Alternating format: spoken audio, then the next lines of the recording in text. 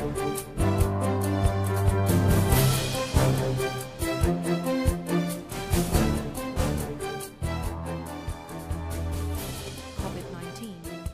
করোনার সংক্রমণ রোধে টানা ছুটিতে দেশ স্থবির প্রায় সবকিছু।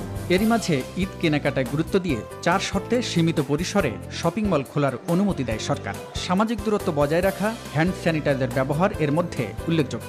সরকারের ঘোষণা বাস্তবায়ন দশ মে থেকে। কিছুটা সময় কিন্তু করোনার সংক্রমণ প্রতিনিয়ত থাকায় দেশের জনপ্রিয় শপিং মল, বসুন্ধরা সিটি বন্ধ রাখার সিদ্ধান্ত নিয়েছে প্রতিষ্ঠানের চেয়ারম্যান আহমেদ আকবর সুবহান। বসুন্ধরা গ্রুপের উপদেষ্টা জানান, বসুন্ধরা সিটিতে প্রতিদিন লাখো মানুষের সমাগম হয়ে থাকে, ফলে করোনার সংক্রমণ ঠেকাতে এটি বন্ধ রাখার সিদ্ধান্ত নেওয়া হয়েছে।